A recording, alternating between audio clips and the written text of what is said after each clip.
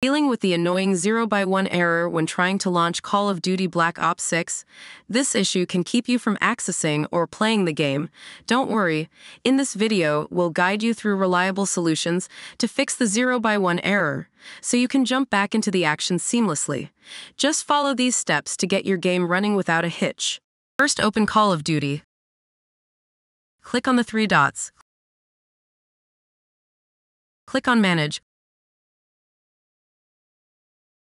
Click on Files. Click on Change Drive. Now move your game to another drive.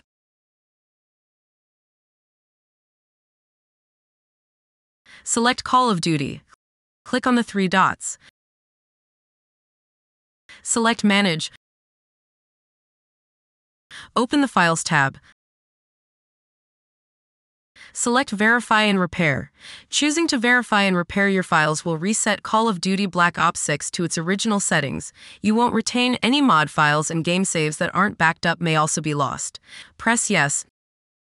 Now wait for Call of Duty Black Ops 6 to be scanned for errors. Now launch Call of Duty. First, open the Start menu. Type PowerShell.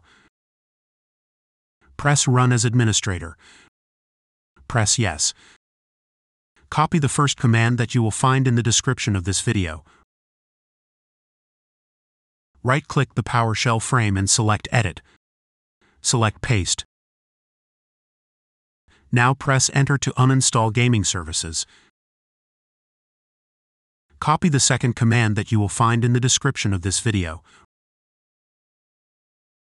right-click PowerShell and select Edit. Click on Paste.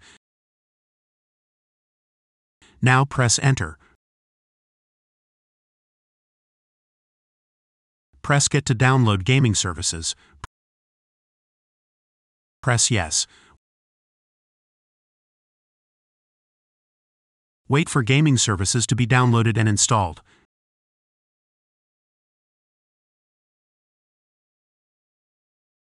Now gaming services should be installed.